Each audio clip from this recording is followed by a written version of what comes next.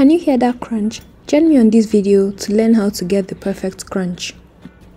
Hey guys, welcome back to my channel. Today I have another potato recipe for you guys.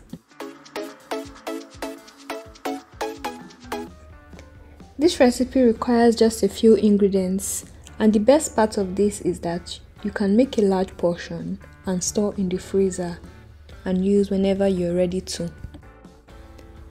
So I'm going to start off by grating my sweet potatoes. You need to be mindful of your hands. So most hash brown recipes use Irish potatoes, but we are going to be using sweet potatoes to make these hash browns. So after grating the sweet potatoes, I'm going to grate one bulb of onion. So the next thing I'm going to be doing is adding hot water to the grated sweet potatoes and onions. You could either choose to do it this way or you could parboil it for about 1 to 2 minutes, any way you prefer. Once the time is up, I'm going to strain the grated potatoes and onions. And the next thing I'm going to be doing after straining this is adding cold water to this. And the reason for adding cold water is one to stop the cooking process from the hot water. And secondly to reduce the starch contents from this potato. Next thing I'll be doing is straining the potatoes using a cheesecloth. If you don't have a cheesecloth, you could use a napkin, but getting a cheesecloth is actually easy. You could either check online or you could get from your local markets. If you're in Nigeria, just ask in the market for the cloth for sieving pap, akam, ogi and they're going to give it to you.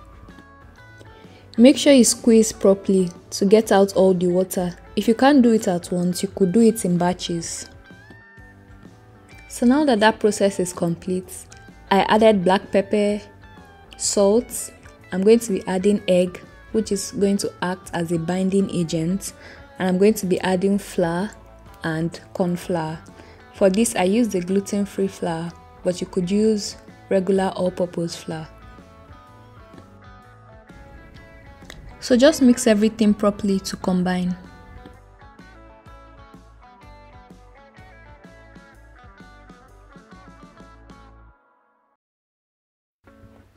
After mixing the potatoes, the next step will be to form the hash brown shape. I used a third of a cup and I'm just going to fill up the cup, press down, form into a ball and shape just like as you can see in the video.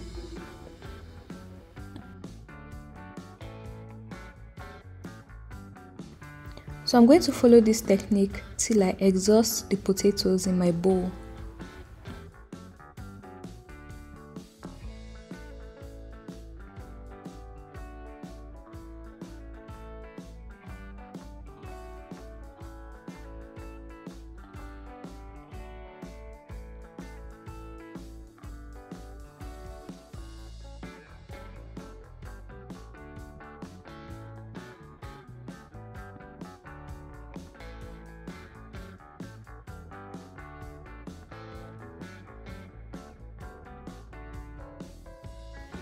Once I'm done with this, I'm going to transfer it to the freezer for about 15 minutes and once it sets, I'm going to transfer to a ziploc.